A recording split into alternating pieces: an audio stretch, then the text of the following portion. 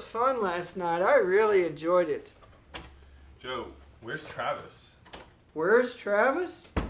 I don't know where he's at. He's supposed to be here. Yeah, you just never know where a guy could be. In the pool. Ooga booga! Oh my god! I can't believe he's got a knife. Oh, I'm getting down. I don't.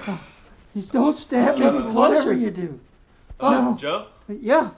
I can't I was- believe Take cover. Come on, man. That was that was scary, but it wasn't that scary. Yeah, it is. He's got a knife. Joe, I was just kidding. It's just me, Travis. I'm not gonna kill you. I was just. It was just a Halloween prank. Come on, man. Let's just have a beer. Are you serious? You guys did this to me?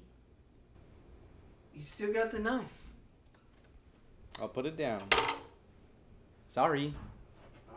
Sorry. Hell, it was scary, but it wasn't that scary. Yes, it was.